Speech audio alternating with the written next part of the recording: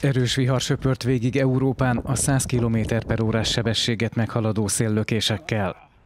Németországban Bestvignél egy 47 éves férfi akkor halt meg, amikor autójára menet közben rázuhant egy fa. Az összes vonatot leállították Észak-Rajna-Vesztfáliában, a sínek több helyen járhatatlanná váltak.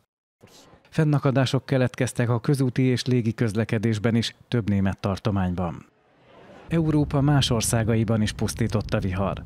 Belgiumban az épületekben és a közművekben is komoly károk keletkeztek, Csehországban és Lengyelországban több ezer háztartásban volt áramkimaradás.